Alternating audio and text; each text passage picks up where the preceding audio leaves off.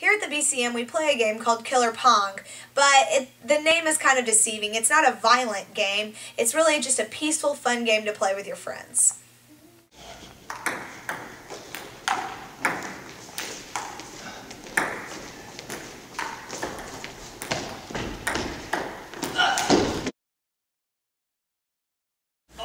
That didn't hit at all. No part of the ball hit the table. Yes, it did. No, it didn't hit at all. Yes, it did. Dude, what's your problem? It hit.